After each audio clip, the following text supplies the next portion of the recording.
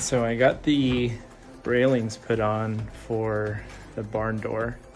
This is the longest railing system that I've put together. The, the rail is much more robust than I expected it to be, which is great. Um, these wheels and the bracket here, they're quite substantial. The problem that I came across was that I was planning on putting um, rails in the top and bottom to give it extra support, thinking that the, the rails would be a little uh, thinner.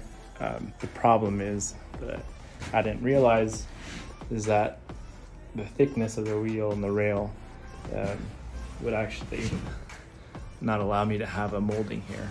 So just have to make some adjustments. I do feel better that the rail is as substantial as it is, so I don't feel like we need a bottom rail, but um, fortunately the, the client uh, is okay with it. And so we're just gonna do the top rail and uh, do some molding next, but one of the things that surprised me is how nice and sturdy these are. I mean, I've worked with some rails that, uh, I mean, they've all been really sturdy, but just uh, makes me feel confident that these are gonna hold up really well over time. I really kind of like the thickness of it. Just gives it some nice character, makes it look uh, just a, a, little bit uh, better in my opinion. So you know, these things happen. You know, I, you imagine and you can plan and you can. I sketch these things out ahead of time, but um, you know, just do what you can with what you got, and sometimes it comes out better. In this case, uh, the client is happy and okay with it, and I'm pleased with it. So we're just gonna roll with it and uh, and move on. So.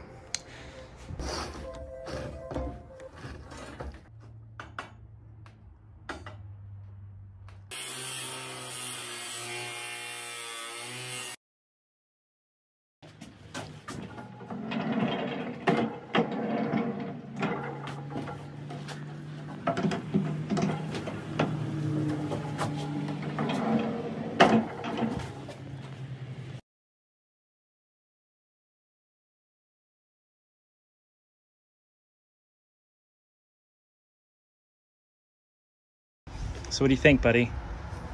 Is it cozy? Yeah. Yeah, you you can. Yeah, you can stretch out your whole body in there. do you approve? I very much do. Okay, cool. Thanks for testing it out for me. Oh. Finally completed the kennel. Um, I didn't record some of the assembly and staining uh, I probably will in the next video, but really happy with how this came out. So this is this is it. It's a big one. Got to use um, walnut stain. Really nice stain. It's the first time I've used it, so it's really pretty how it came out. Added uh, some latches that I haven't used before. Added a couple on the top and one on the bottom. A nice handle. And I also added these rollers here at the bottom to help it roll smoothly and also uh, prevent the door from getting scratches or being damaged. So really happy about this one. It was fun. Had a good time making it. Had some uh, some help yesterday with some sanding and some staining from my brother Daniel. Always fun to hang out with my siblings and and uh, get them exposed to some woodworking. So I hope you guys enjoyed it. It was really fun to make and um, hopefully I'll be putting more of these videos up so you guys can check out what I'm up to. Bye bye.